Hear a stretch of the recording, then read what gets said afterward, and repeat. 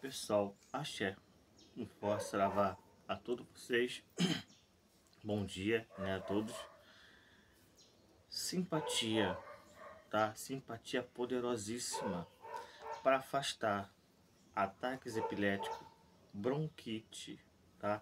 Não tem aquela aquela enfermidade que acompanha a pessoa por, vamos dizer assim, quase toda a vida, né? Que é a bronquite, que é a, o asma, né? É, esse, essa simpatia que eu vou ensinar a todos vocês que estão vendo esse vídeo, né? É uma simpatia que é passada de muito é, dos antigos, né? E assim vai se passando para frente e eu vou passar para todos aí em meio. Eu sei que há muitos pais preocupados com filhos, né? Há muitos tios, há muitas pessoas, né? Preocupadas com as outras que têm realmente muitos esses ataques e eu tenho relatos de pessoas que realmente fizeram, tá? É, essa simpatia e conseguiram, tá? É, aquela enfermidade sumir. Compartilha, ser seguidor, tá? E um forte saravá a todos vocês. Vamos lá. É, pessoal, é, quando a pessoa dá aquele ataque epilético, né? Ataque descontrolado, muitas vezes se contorce, né? Cai aquela seiva, né? Aquela, aquela saliva. A saliva cai na roupa, né? A pessoa enrola a língua. Então aquela saliva que saiu na roupa, aquele suor ali, a pessoa se batendo, que ficou presa naquela roupa, tá?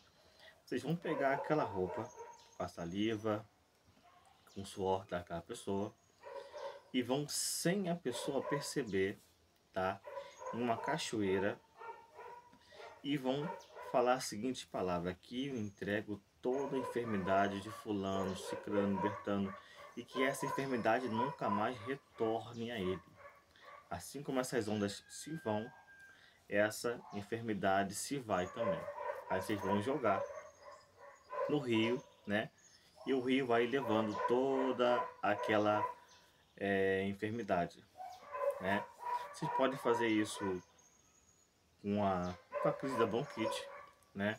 O asma pode ser feito isso também, né? Pode ser feito é, a segunda forma, que os mais antigos também ensinam muito, é de você pegar a roupa ou qualquer material que for cuspido, for jogado para fora, igual asma, que faz a pessoa cuspir para fora e perder a respiração ela respirando num, num pano ou respirando na camisa mesmo, você pode pegar aquilo, né? Perto de uma cachoeira ou perto de uma mata, você vai ver é, aquela casa de formigas, não tem aquela, aquela casa que tá aquele buraco, buraco bem grande assim, de formigueiro. Vocês vão jogar a camisa daquela pessoa dentro desse formigueiro e vão pedir para a terra consumir toda a enfermidade né, que essa pessoa tem. Ela onilé, a terra que um, um dia de consumir todos nós. Né? Da terra eu vim e da terra eu vou retornar. Peço que, que leve toda essa enfermidade de fulano, Bertano e que, e que nunca mais retorne a essa pessoa. Aí você vai jogar dentro do formigueiro e vai deixar, tá?